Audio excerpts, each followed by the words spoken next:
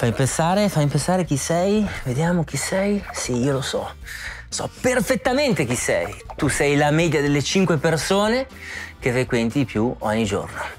È di questo che oggi parliamo grazie alla domanda che ci ha fatto Roberta. Ciao Luca, ti ho sentito dire che ognuno di noi è la media delle 5 persone che frequenta di più. Potresti dirci meglio cosa significa e come comportarci se siamo circondati da persone che troviamo sgradevoli? Cara Roberta, sì, te lo confermo, questo è uno dei miei cavalli di battaglia, la prima volta l'ho sentito dire dal solito Jim Ron ed è un elemento molto molto importante su cui vale la pena spenderci un paio di riflessioni. Alla base di questa idea c'è l'intuizione che l'influenza che gli altri esercitano su di noi sia talmente sottile e quasi impercettibile che neanche ce ne accorgiamo. Ma se ci pensi così, se frequenti persone che eh, spendono tutto quello che guadagnano, ci sono molte possibilità che anche tu diventerai uno spendaccione. Se frequenti persone che assistono più spesso a incontri di pugilato che andare al cinema, è assai più probabile che farai la stessa cosa. Se frequenti persone che non si fanno mai nessun problema a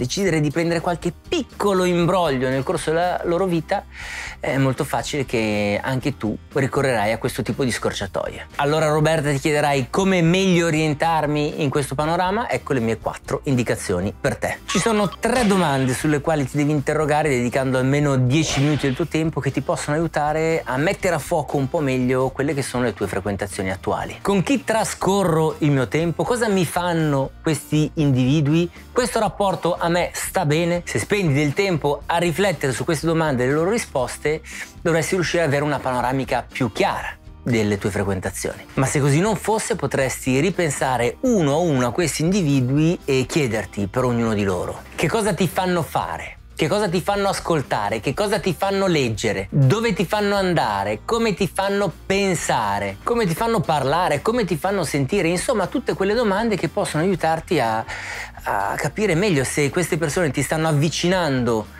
al tipo di obiettivi che ti sei posto oppure se sono completamente fuorvianti. Ok, se dopo questa prima analisi delle tue frequentazioni ti sei reso conto di essere circondato da campioni, buono per te amico, vai avanti così.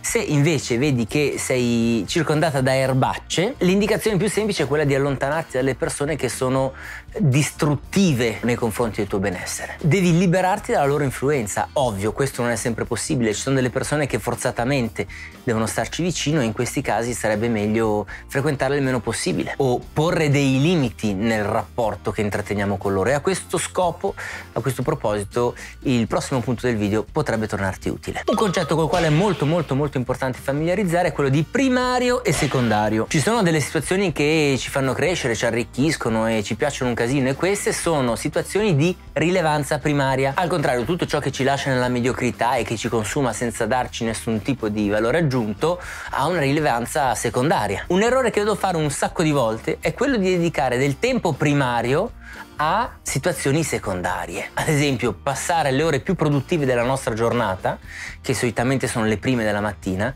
con persone perditempo o dietro a inutili riunioni, appuntamenti. Il gioco invece dovrebbe essere il contrario, no? Tralasciare nei momenti di relax secondari, dove magari siamo già un po' stanchi, le attività secondarie, senza sciupare in cose da nulla il nostro prezioso tempo. Quarto step, dopo aver analizzato la panoramica delle nostre frequentazioni, aver limitato quelle un pochino più pericolose, è ampliare e lasciar correre, dare corda, dare spazio alle frequentazioni invece quelle importanti, quelle primarie che ci fanno crescere. E chi sono mai queste persone giuste? Eh, io non lo so quali possono essere le giuste per te, so quelle che sono giuste per me. In generale le persone giuste sono quelle che rappresentano dei valori verso i quali tu vuoi tendere. Se vuoi diventare salutista può essere per te importante frequentare un gruppo di persone che già è salutista e ti sprona e ti incita e ti accompagna in questo stesso percorso. Sia chiaro, non c'è arrivismo in tutto questo, ma ci deve essere una sana curiosità e voglia di mettersi in gioco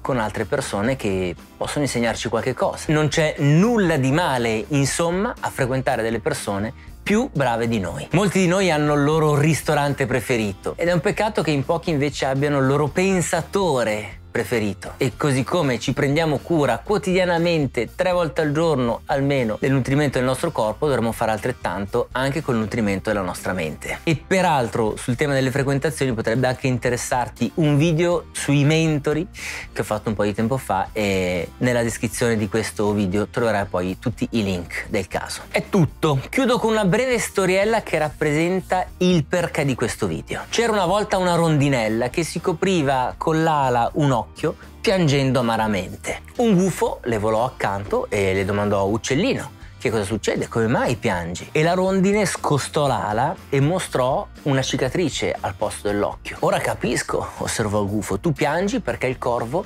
ti ha cavato l'occhio. No, rispose l'uccellino, io non piango perché il corvo mi ha cavato l'occhio, ma perché io gliel'ho lasciato fare. Ricordiamoci anche noi, cari amici, di selezionare in maniera molto molto scrupolosa le persone con le quali condividiamo la risorsa in assoluto più preziosa che abbiamo, il tempo. Anche per oggi è tutto. Grazie e alla prossima.